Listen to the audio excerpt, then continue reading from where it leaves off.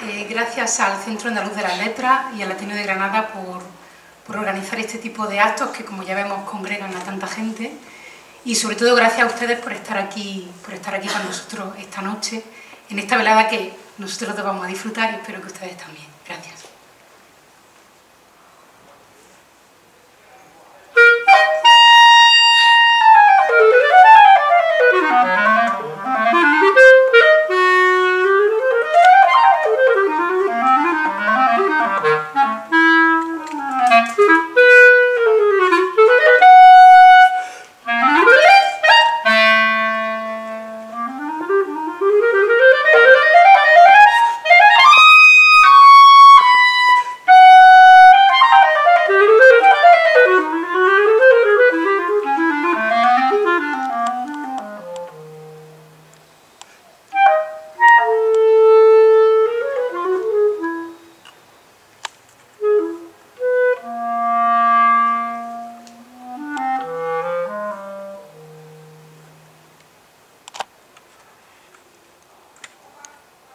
Miedo.